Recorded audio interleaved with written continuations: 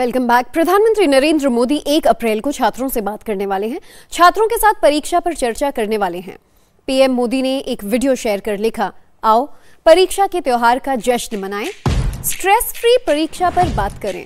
प्रधानमंत्री ने आगे लिखा तो मिलते हैं एक अप्रैल को परीक्षा पर चर्चा पर।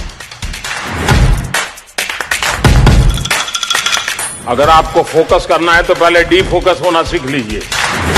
क्वेश्चन पेपर आने के बाद बस पिताजी के स्कूटर को याद कर दीजिए बस कि हम विफलताओं में भी सफलता की शिक्षा पा सकते हैं। जब कठिन को अटेंड करेंगे तो सरल तो और भी आसान हो जाए।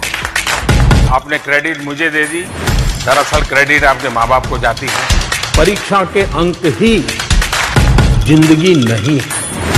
तो आप लोग चाहते हैं कि मैं आज आपके पेरेंट्स की क्लास लो परीक्षा की बात पीएम के साथ।